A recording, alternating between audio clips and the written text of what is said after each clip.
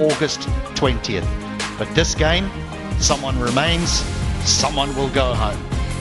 The Jaffna Kings who won the toss. A little bit of movement in the air there.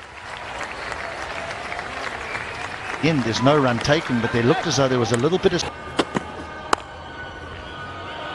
Yeah, nice. This outfield is very, very fast.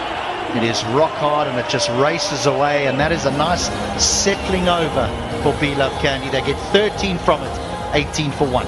Any harder, you'd have been in trouble.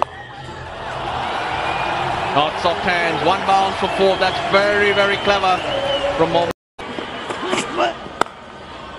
Carved through. Mohamed Haris now jumping in. Picked up the ball. Six. Easy as you like it. What a pickup. How? Oh, that's a good shot. That's a real good shot. A nice use of the feet.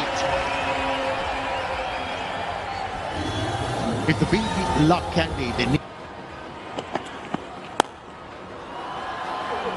Oh, yes. Oh, yes.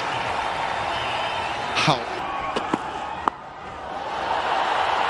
Up and over, short, fine leg, and away for four. He's creating carnage now, Muhammad Haris, as he moves. That is a beautiful stroke. One bounce four over extra cover. Oh, this will be a simple catch, will it? No, all the way for six. That was a flat back. Oh, he's picked him up. He ended up yorking himself.